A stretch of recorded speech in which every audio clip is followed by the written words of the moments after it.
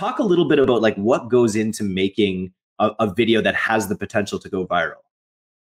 Um, so I mean, like this is something that we were getting asked all the time, especially when we first we had a couple videos that were doing really well and going viral, um, and then we like I'm sure everybody that's watching this kind of felt the Facebook crunch, where you know even to you know, I think we have like 1.3 million likes on Facebook, we're lucky to get 10,000 views if we post one on Facebook now.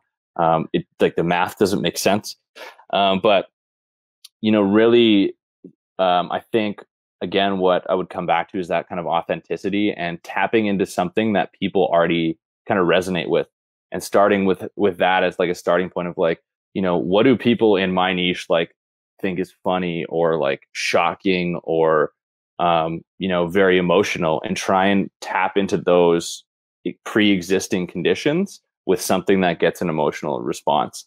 Um, and i think that's like a, kind of a great starting point um, there is I was going to say that we have a like Chris kind of put down uh, like he did a lot of the videos, so he kind of um, created this guide on what he was using. Like it's kind of like re- reverse engineering our videos called Proven P R O H V E N, um, and we threw a mastermind event a couple of years ago. Actually, this is crazy. Like two years ago today, I think was the first oh, day nice. of it. Uh, I didn't think of that. Um, but it's unconsciouscontent.com. I think the I think the PDF still should work. I haven't checked on it in a while, but um, I can link it to you guys too uh, if, if you want to include that in the comments or whatever.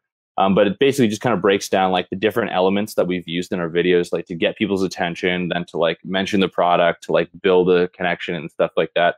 So there was a bit of like method to our madness, but we also realized that as we as we went through the process and launched more and more videos, that we were sort of creating this expectation that we could go viral with every video and it was not a sustainable path for us whatsoever and realized that you know it was sometimes better to create a video that doesn't go viral but that we could put facebook dollars behind and actually get pe- get people's attention and then you know start them into a funnel. So you know the first thing that i always say to people when they're like hey we want to create a viral video i'm like well that would be great if your your video goes viral but you should just focus on creating a great video that you know mm-hmm. achieves specific outcomes like explaining your product or you know acquiring a customer or just kind of like getting people's attention so you can start that conversation with that first video view and then retargeting them after that so it was a lesson that we learned that you know going viral is not always the best intention to have it's just a fabulous bonus if it happens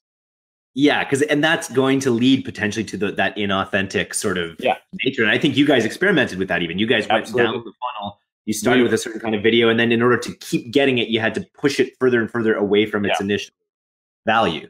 And we've we've shot videos that cost you know one hundred and twenty thousand dollars, and that brought in you know not that much in revenue, like half as much in revenue. Like they were great for brand building; they were seen by a lot of people, so it's kind of hard to measure. But we had acquisition specific videos that were just for Facebook ads that we shot for like a thousand bucks that would bring in you know 200 grand in revenue uh, over a couple months so we just sort of realized like our initial video before like i think it brought in about i would say two and a half million dollars that we can attribute to it and it costs us 1800 bucks.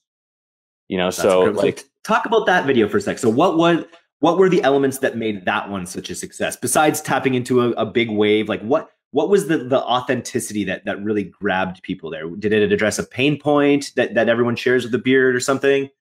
I think it like it was just like it was original in the beard market. Um, like no one had done something like that in the beard market about talking about like bearded guys. Like there had been, you know, your viral thread videos of like beards are really big right now. Do, do, do, do. Uh, but yeah. no one had done something that was just like kind of like in your face, like we have a beard and like, you know, join the club and do this. So I think that just because it was so fresh, um, it was able to, you know, really connect with a lot of people. And um, you know, I can't pretend for a second that we didn't have, you know, this great company that started before us called Dollar Shave Club that did an extremely great job of explaining subscription e-commerce to a lot of people who didn't understand it before that. So being able to like, people were like, oh, we get it. It's like that model, but you know, for people that don't shave.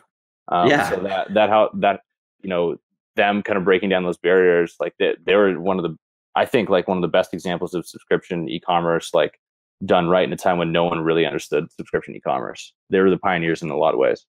and I really like that you guys took the the flip side of the coin approach. You know, like if these guys are doing it on this for this, you know, societal trend, like the societal trend of not shaving is actually bigger, or right now it is, over the past several years has been. So it's like you take the same model, but the flip side of it in a sort of non-competitive space. It's it's really I just got my mind spinning about like other you know other things that are that are out there right now that could kind of be flipped on their head and uh, and subscribe to on the other side too. It's a uh, art. So are you consistently like what what is what does your time look like now? So are you still how involved in the day to day at uh, the Beard Club are you? And then what are your main focuses?